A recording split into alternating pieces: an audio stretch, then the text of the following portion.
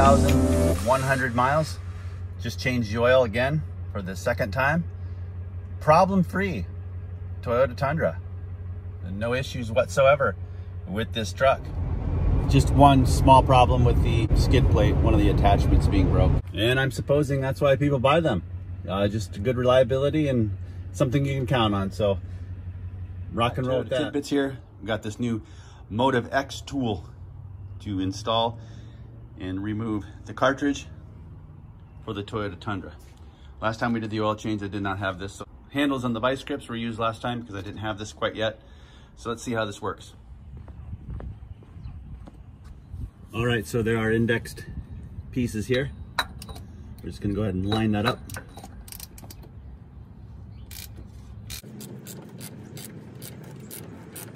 And it's working itself loose. A lot easier than trying to dilly-dally with something that's not made for it. I've got my oil pan down below here. So I'm just gonna get this loose where it's about coming off. I'm gonna take a suggestion from one of the comments to go ahead and to, uh, I don't know if this is gonna work very well. It Might make more of a mess than what I would, but uh, we're gonna try to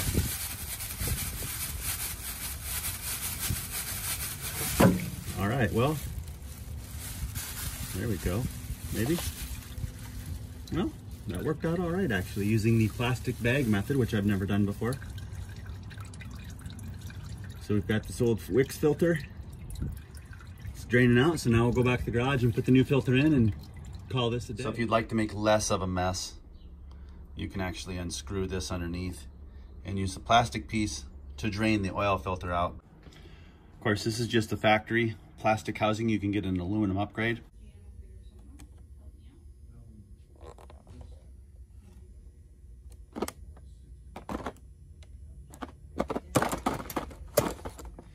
We're going to take the O-rings, make sure they've got a nice little coat of oil on them for pliability. Make sure it's placed in the right groove here. It's uniform right underneath here. Going to replace that one with this guy. Screw that back in and we drop this new filter in, of course. That's all there is to it.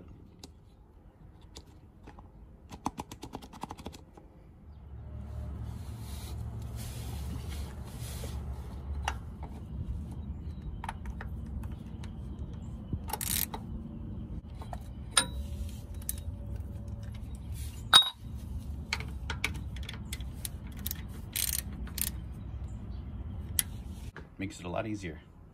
Well, time to give some Tundra a little bit of love. Do we take off these stickers? The turd stickers, as they're commonly known. All right, so dear Toyota, does it really need to be TRD? Toyota Racing should suffice. I mean, if you're racing, obviously you're developing things to race better.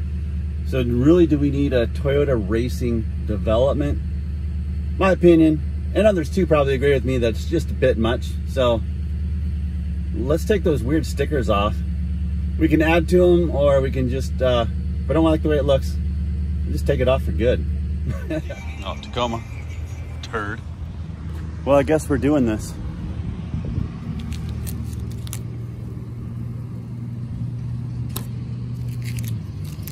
In the sun, best time to do it. So we're fixing that little debacle right as we speak. Whoa, whoa, whoa, Haas. I'm gonna try something here. Very lightly. Now clean that up, make it blend. And we'll just be running a TR, a Toyota racing truck. oh yeah. So if you want to get serious, general purpose adhesive cleaner from 3M is the real deal. TR edition. So I picked up a set of these off of a 2019 Tacoma, real cheap. This would enable a Tundra big brake upgrade on the 4Runner. And of course, got the old Tacoma over there. Already have a set of new tires and everything on that. So that one's ready to go for the big brake upgrade as well.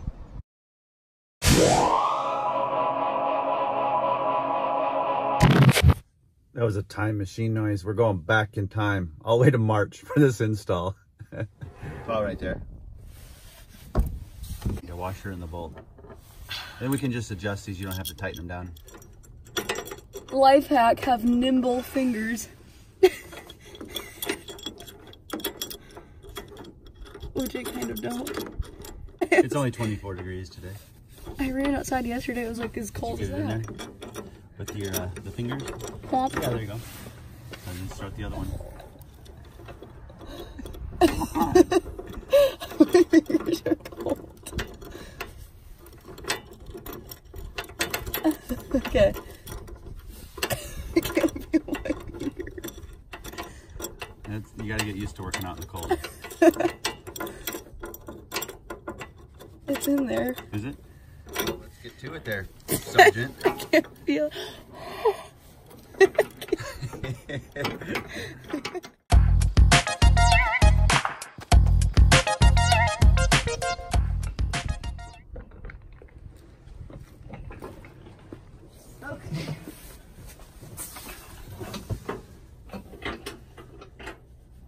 I feel like I just came out of the womb.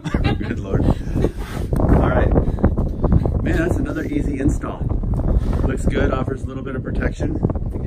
The difference in this one compared to the other one, I went to the premium this time, the pro, and it just has a quick release turnbuckle rather than the ones like up front that are screw on. Well, that's handy dandy. It is.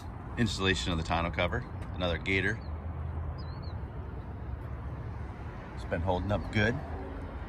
Take a quick look at how that's installed real quick. So easy. You have a youth do it. Let's talk about the ownership of the 2019 Tundra. Obviously, this platform has been around for quite some time. The power, excellent. I mean, if you would go back a few years and think about a pickup truck pushing almost 400 horsepower and 420 foot-pounds of torque, uh, that would be groundbreaking. Uh, so it's more than plenty. Uh, the fit and finish, no problems whatsoever, no issues. Mileage is around 14, 15, 18. Somewhere right in there, which is really good, I think, for a full-size truck and for what it does. Pulling power and all that. So that's the report on the uh, 2019 Tundra 5.7. Super reliable. Fit and finish is good. Power's good. No issues. No service visits. No check engine lights. So I'm pretty happy owner. But I have been thinking, is it time to go to a different brand maybe? That doesn't make sense. so is it time to add another vehicle to the channel? I'm to think about that.